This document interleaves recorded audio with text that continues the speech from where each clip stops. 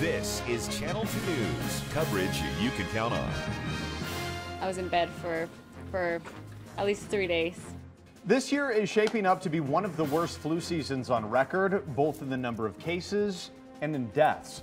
Health Watch tops Channel 2 News at 5:30. Now, just last week, pneumonia and influenza accounted for one in 10 deaths in the United States. I'm Landon Miller. I'm Kristen Remington. Thanks for keeping it here. The numbers are also high here at home. In fact, the number of confirmed flu cases is already twice the three-year average. Paul Nelson has a closer look. As bad as this flu season is, we're still only about halfway through. In fact, nationwide, more than 150,000 people have gotten the flu, and it's killed nearly 11,000. Here in Washoe County, more than 4,000 people have gotten the flu, and 19 people have died. The flu is taking its toll this year, affecting thousands in Washoe County.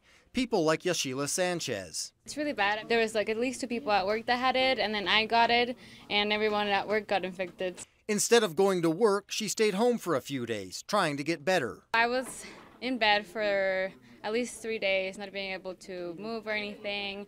Um, had to drink a lot of water and just rest. I was very achy. Flu season runs from the 40th week of the year to the 20th week of the next year, basically from October to May.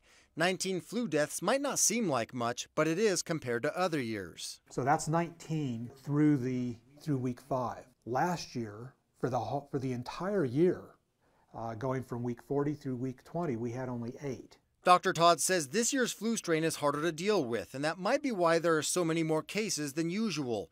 Even some who are vaccinated are getting the flu, but he still encourages people to get the shot, even this late in the season getting some protection is better than not having any. And also, there is some evidence to suggest that if you do get the flu after having had a flu shot, it may not be as severe or last as long. And then finally, this is just your regular old flu vaccine.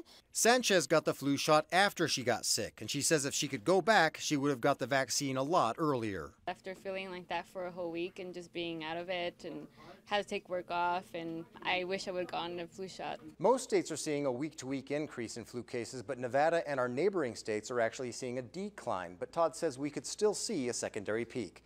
Covering Health Watch in the studio, Paul Nelson, Channel 2 News.